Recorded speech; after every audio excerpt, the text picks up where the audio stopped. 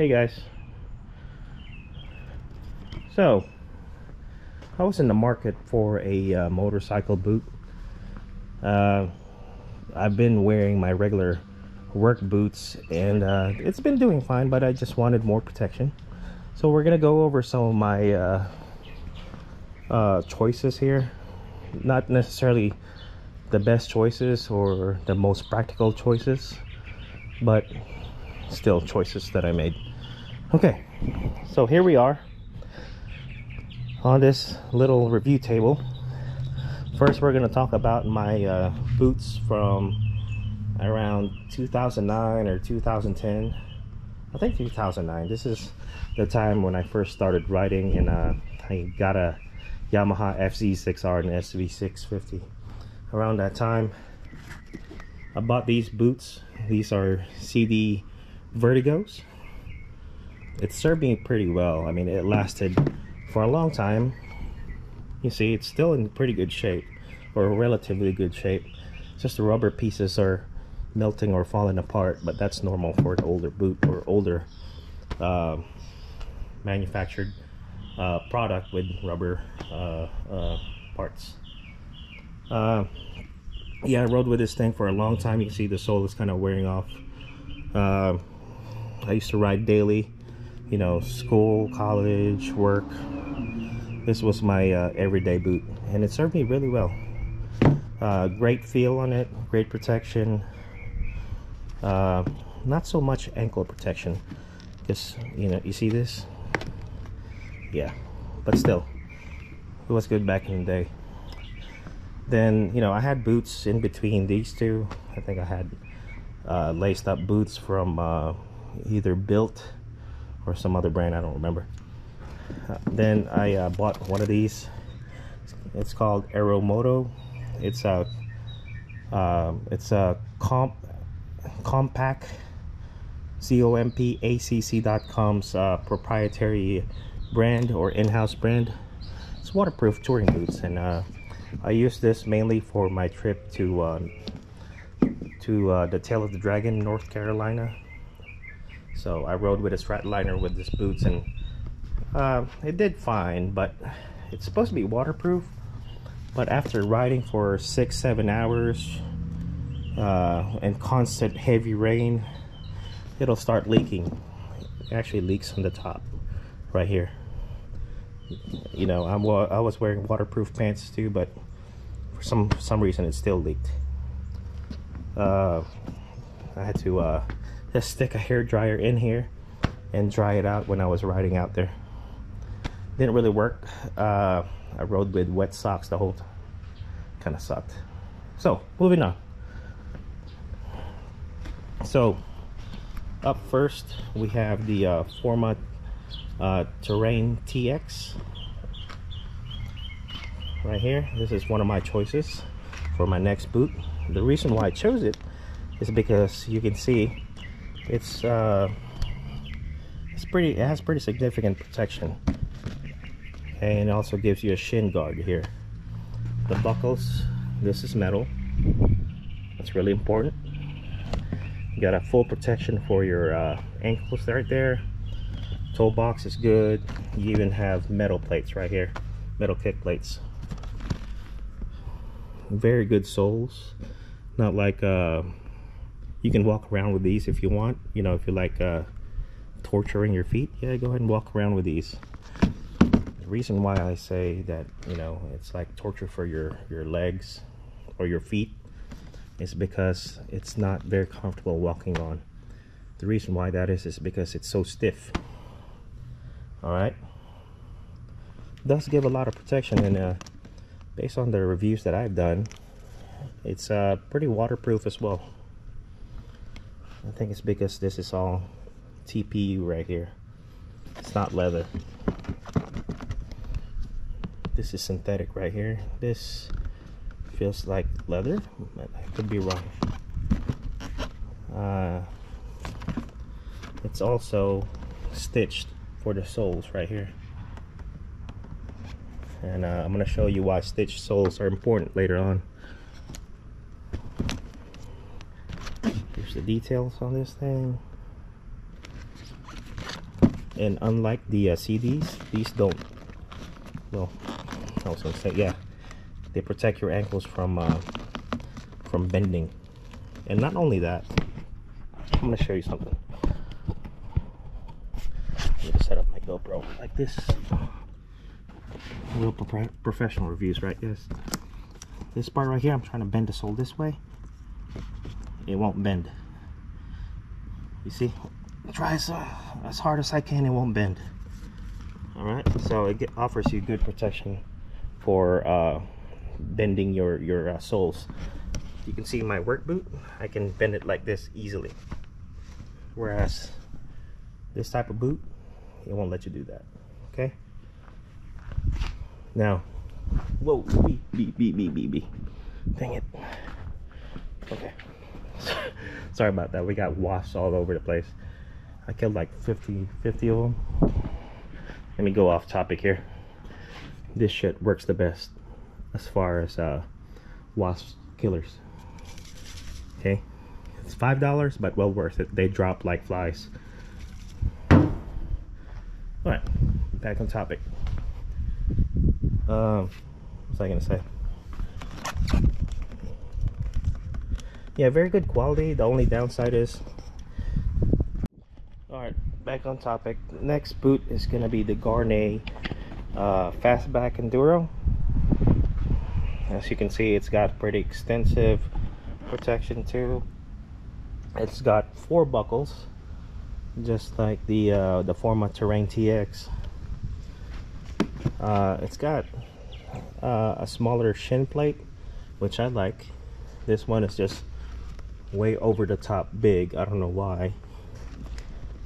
Uh, it's got very good uh, color on it too. It's boiled brown. Uh, as far as build quality goes it's pretty high. It's stitched. Very good sole right here. It's got a metal kick plate. Very substantial protection for the ankles. That's really what I'm looking for. Ankle protection. It's also hinge uh, just like the uh, Forma Terrain Texas but this one is even stiffer than the Forma Terrain Texas or TX I need to stop saying Texas. I live in Texas that's why. There it is fastback endurance uh, made in Italy. This one compared to the uh, Forma Terrains is a lot more comfortable because I feel like there's it's there's more padding here on the side and also the toe box okay? So it's it's uh, a lot more comfortable to work on. I mean walk on. There's more details. I said stitch sole. Here's the uh, the details on the sole. Pretty good. Okay I don't think it's as good as the sole on the uh, Forma Terrain TX I, I like these better I think it'll provide more traction but you know I haven't really uh, uh, taken it out walking too much yet because they're all brand new. The reason why I kept it brand new condition is because it's a trial period right? I bought three but I'm gonna return two. Uh, the uh, Revzilla, Cycle Gear, and Amazon are pretty uh, forgiving as far as uh, their return policy is just don't use it basically. You know return it in new condition. Okay another thing about the forma i'm sorry the Gaerne uh, fastback enduro. Just like the uh, forma terrain tx you can't bend the sole. Try as, try as you hard as hard as you can i'm sorry it won't bend. Now it's not it's not waterproof but it's good enough um, there's not really a waterproof boot out there in my opinion. Based on my research even the Gore-Tex ones start leaking uh, especially right here in the bottom. I, I don't know why okay? Uh, I'm just reading reviews from uh, Amazon Revzilla uh, Cycle Gear Thumper Talk. I was looking at buying the uh, the Alpinestars Toucan because it provides substantial protection like the uh, Gaernes and it's waterproof but the review says it still leaks that's $500 guys okay so uh, out of the three, this one has the best protection and also relatively comfortable. Okay, uh, very substantial uh, hinge system, so your ankle is very well protected. It won't bend, basically. This one right here, although it's made of plastic, it is adjustable. Okay, so if you're fat like me, you have fat thighs, uh, you can still make it fit you. Okay so all you got to do is unscrew it and and move the uh, the clasp. And uh, there you go customize the fit. Next up is the uh, Alpinestars Corozal this one is your adv typical adventure style boot. Uh, in this design it's uh, oiled brown uh, this is going to be the most comfortable shoes out of the three. Let me put it out in the sun. Most comfortable boot out of the three. Like i said uh, out of the box it's already broken in. You can probably walk 10 miles on this thing in relative comfort. It's that comfortable guys. I kid you not it's even more comfortable than my work boots. And i wear these 14 hours a day. Uh, now there's a downside of that. Uh, let me put this out in the sun so you guys can see. There's a downside to that. Oh, damn shadows. Let me find a spot here. Professional review right? There you go. There's the detail. So all is good. Seems perfect. Um, but it doesn't really provide protection. Okay now you do have this little hinge system over there but it's really just for show. Doesn't really do much. And uh, the reason why I say that is because watch this. Bam broken ankle broken ankle broken ankle broken ankle. All right let's try it on the other side. Oop, broken ankle. Right not much protection there. Now you do have protection uh, let me set this tripod down. Won't bend. It's pretty stiff. I think it's got a metal shank in there. Uh, pretty substantial toe box not as well protected as the other two. Uh, it'll still bend forward like this. Let me aim this up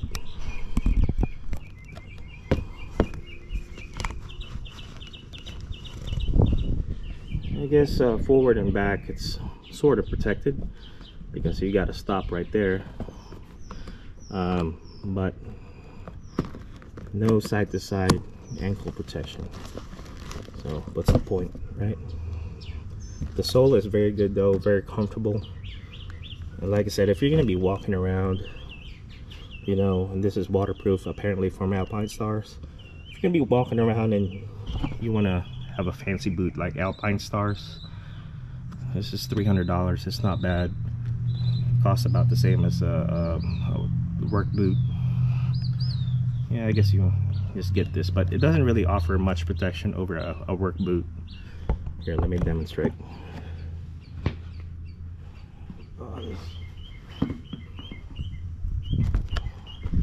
Here's your typical work boot This freaking bumblebee is bothering me. I think it wants to eat my soul. Right. Typical work boot.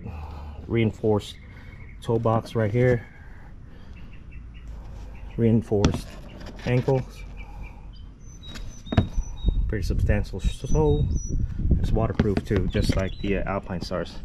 This costs $180 by the way. Now look at this. Just like the Alpinestars, doesn't really offer protection for you know your ankles. This is what I usually wear but I'm gonna wear one of these from now on. So Alpine Star Corozal a little bit of upgrade uh, for uh, upgrade from uh, work boot but not very substantial protection compared to the other two. All right let me put my boots back on. Hard to do it with one hand. Come on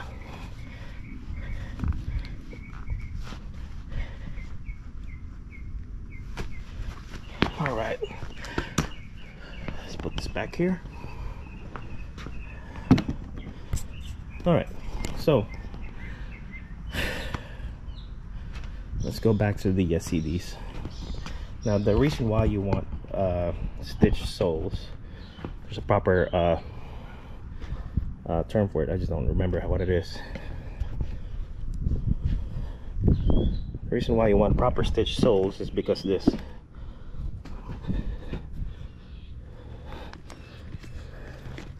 Well, not this one. Sorry.